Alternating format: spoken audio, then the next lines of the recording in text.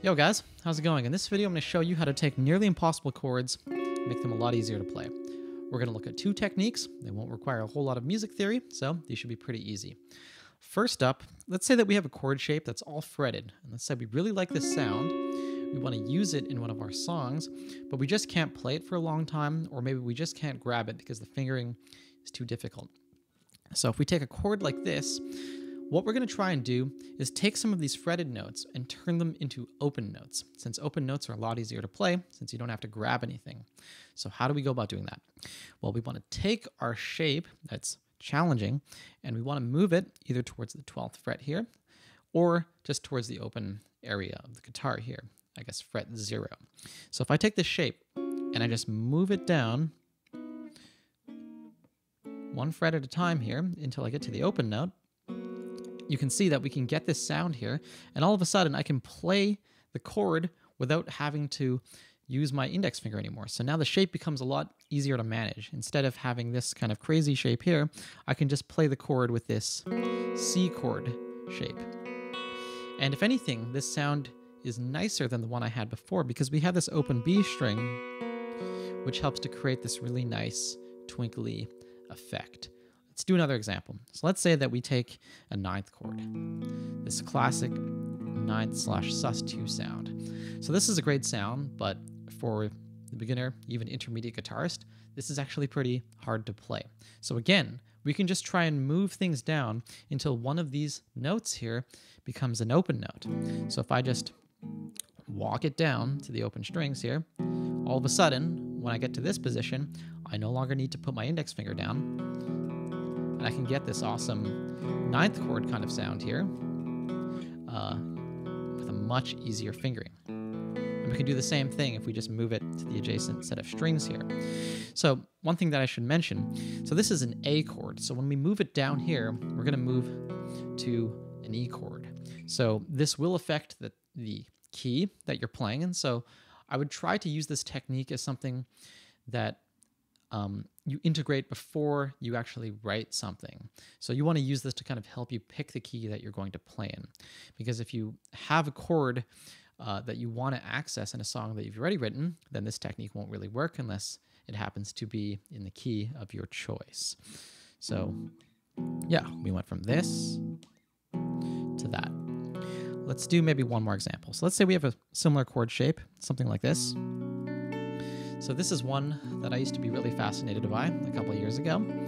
And while it's a cool chord, it's definitely not very realistic to play in a normal setting. So what we can do again is walk this guy all the way down until that note becomes an open note. We get something like that. Now, as I said before, when we add these open notes, they create a nice twinkly sound.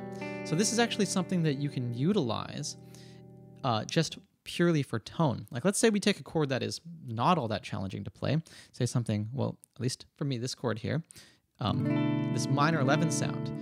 Um, it's not super challenging to play, but if I want to make it more open, I can do the same thing here where I just walk it down and turn some of these notes into open notes. Or, as I said before, we can also do that up here on the 12th fret as well. So if we walk it down like that, we're going to get some nice sounds.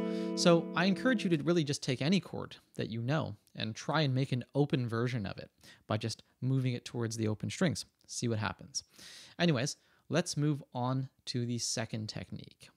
So the second technique here is what I call the tuning adjustment technique. So this one's going to be a little more challenging, will require a little bit of music theory, but this one can really get you out of a jam. And it's also going to be based again on open notes. So let's take an example chord. So I really love this one, but this is really hard to play in standard. It sounds like this and looks like this. So as you can see here, this is like a death stretch. You know, there's no way that realistically you could use this in a playing situation, at least for a very long time. So, one way that we can make this a lot easier to access is to change one of these fretted notes here into an open note. So the challenging thing is that we're going to need to know the notes that we're playing, or at least fretting. So if I take a look at this guy here, the note that my index finger is reaching for, this is an A pitch. So if I want to make this A pitch accessible, I want to try and turn it into an open note. How do I do that? I can change my tuning.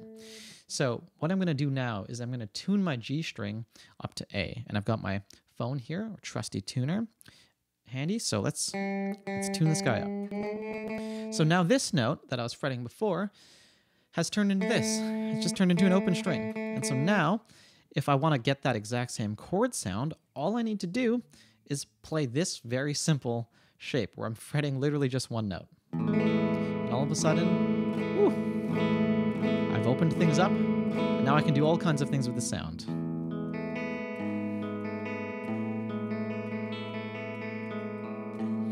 And it's really not all that hard to play at all.